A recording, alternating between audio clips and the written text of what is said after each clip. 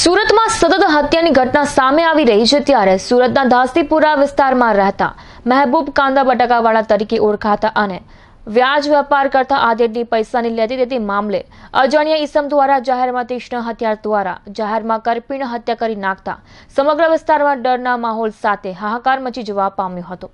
જોકે ઘટનાની જાણ થતાં પોલીસ કાફલો ઘટના સ્થળે દોડી આવ્યો હતો અને તપાસ શરૂ કરી હતી. જોકે પોલીસે ગણતરીના કલાકોમાં જ હત્યારાની ધરપકડ કરી કાયદેસરની કાર્યવાહી હાથ ધરી છે.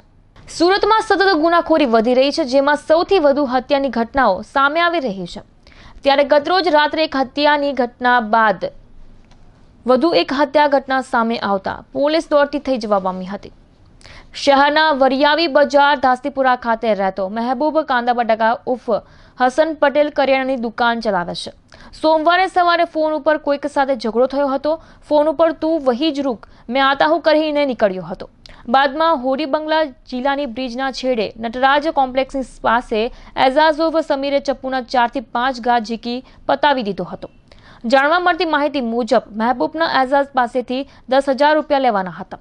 એઝાઝે અત્યાર સુધી દસ હજાર રૂપિયાની સામે ચાલીસ હજાર રૂપિયા ચૂકવી દીધા હતા, પરંતુ તેમ છતાં બાકી દસ હજાર માટે ગાળાગાળી કરતો હતો. દરમિયાન મહેબૂબનો એઝાઝની પત્ની સાથે પણ ઝઘડો થતાં તેને મહેબૂબને ચપ્પુના ઘા ઝીકી પતાવી દીધો હતો. હત્યા પછી કલાક સુધી મહેબૂબની લાશ પડી રહી હતી. ત્યારબાદ પોલીસે જાણ કરતા પોલીસે મૃતદેહ પીએમ માટે સ્મીમર હોસ્પિટલમાં ખસેડ્યો હતો. પીએમ દરમિયાન મહેબૂબને પેટના ભાગે મારેલો ઘા આરપાર થઈ પીઠ પાસેથી નીકળ્યો હોવાનું જાણવા મળ્યું હતું.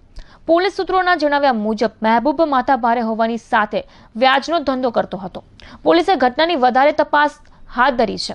જોકે પોલીસે ગણતરીના કલાકોમાં જ હત્યારા એઝાઝ ઓફ સમીર સુપ્રુ સાહુની ધરપકડ કરી કાયદેસરની કાર્યવાહી હાથ ધરી છે. લાલગેટ પોલીસ સ્ટેશનમાં કાલે એક ઈસમની તીક્ષ્ણ હથિયારથી મારવામાં આવેલ હતો.